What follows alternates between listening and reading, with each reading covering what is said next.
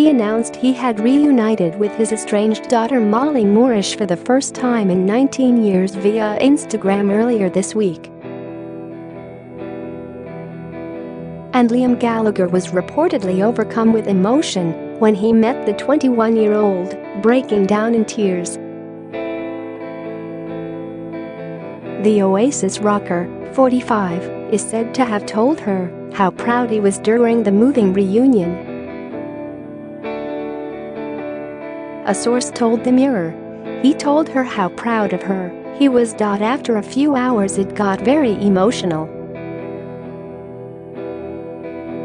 Liam shed some tears, and so did Molly. Liam announced the happy news with a candid black and white photo showing him standing arm in arm with Molly, who he fathered during a two-year relationship with Lisa Moorish, 46.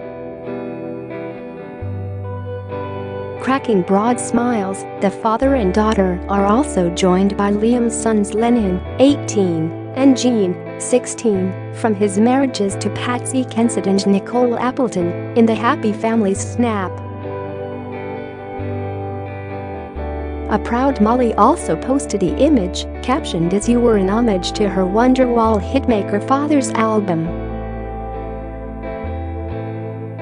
It was thought she was there to attend her father's gig at the London Stadium, supporting the Rolling Stones earlier this week.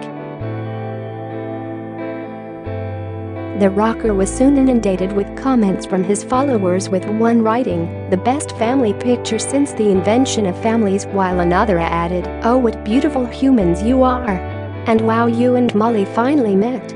What's she like? She looks like a lovely person which I'm sure she is. Another fan wrote, absolutely lovely while another added, lovely photo. Your kids really take after you. Liam recently confessed he has never met his two daughters Molly and also Gemma Ghorbani after both children were born from affairs that ended his marriages at the time. The Live Forever singer told The Mirror that despite paying child support for his two daughters, he's never got round to meeting them. Liam fathered Molly in 1998 with Lisa Moorish during his marriage to actor Patsy Kensit, while Gemma, 5, was born after a fling with journalist Liza Ghorbani, ending his marriage at the time to Nicole Appleton. Speaking about his relationship with Molly, Liam said, I've just never got around to meeting her. I've heard she's alright, Though she's doing alright. I never heard anything that she wanted to meet me. Talking about Gemma, Liam added, not met the one in New York either. But I wish them well. If they ever need anything, give us a shout.